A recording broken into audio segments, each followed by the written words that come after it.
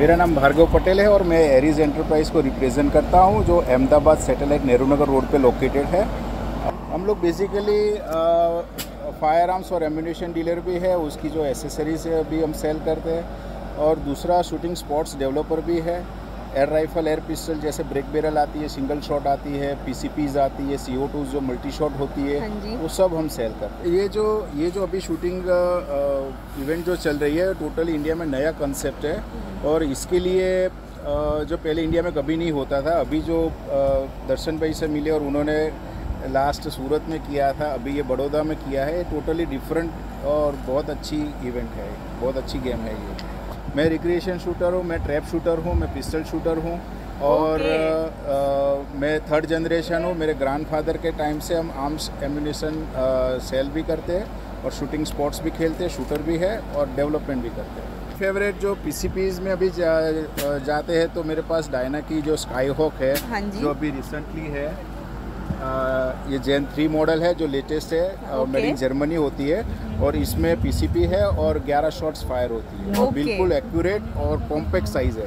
अभी की जो टेक्नोलॉजी है और लेटेस्ट मॉडल है। ये जो इवेंट किया है ऑर्गेनाइजिंग किया है बहुत अच्छा है बेहतरीन है और मैं देख रहा था मुझे ऐसा नहीं लग रहा था कि कोई इतना होगा लेकिन जो पार्टिसिपेंट है जो हैदराबाद केरला से बॉम्बे से लेके गुजरात में भूज से लेके सूरत हर, हर सिटी से लोग आए हैं।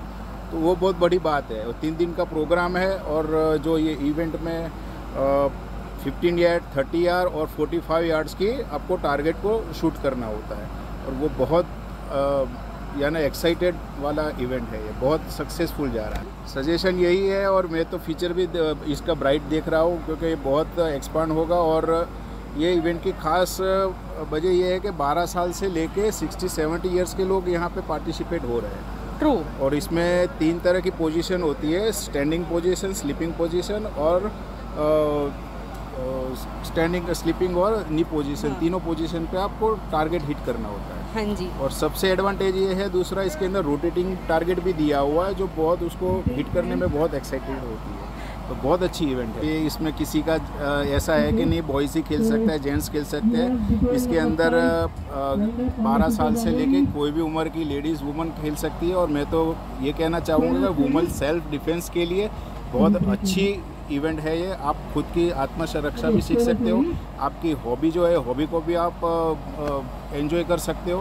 और बहुत है लर्निंग एटलीस्ट लर्निंग करोगे आप लर्निंग शूटिंग में भी आप, उसका प्रोग्राम होता है, वो भी अगर आप उसमें आओगे तो बहुत अच्छा फील करोगे। पहले शूटर्स के लिए मैं खास कहना चाहता हूँ कि आप वुमेंस है लेडीज़ है जूनियर्स है, या किसी भी 50 40 60 इयर्स किसी, कोई भी है आप, ये इवेंट में आ सकते हो शूटिंग स्पॉट्स में कहीं भी आप खेल सकते हो।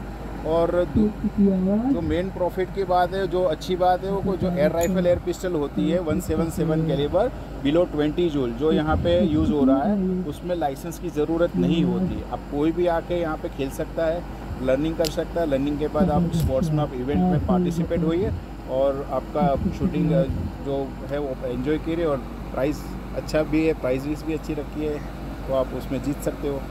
Thank you thank you